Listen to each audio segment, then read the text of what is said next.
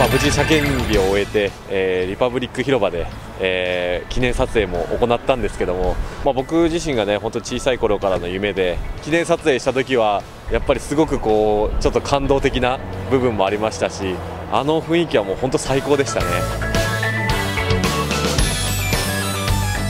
This year we were doing it on Sunday, which is, means there's much much more people. Everybody is on off day and is having fun on uh, on that day to watch all the cars and all the drivers.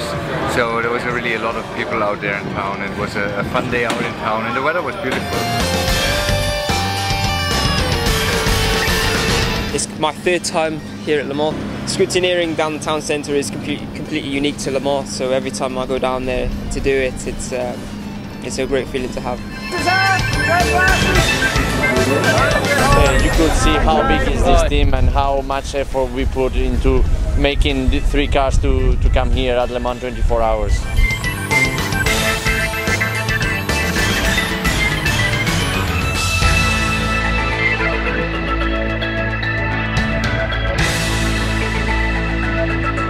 Ma テストデーは きちっと車をねあのデータを取って、えー、走るということがメインだったんですけど、まあ、あのストレートスピードはあの本当他社よりも速いので。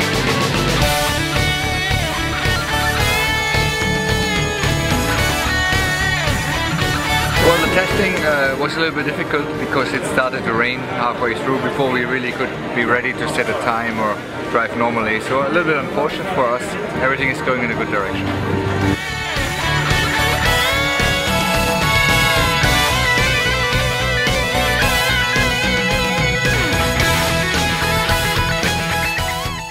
Each car was trying different things. We have good information. Now all three cars are exactly the same. We know where which direction we need to go in to improve the car, to make it faster.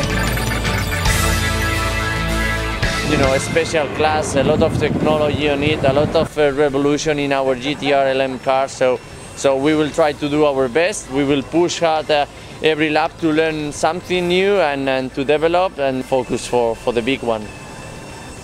あの日産初年度僕も初年度なんでまずはあの決勝レース完走したいと思います。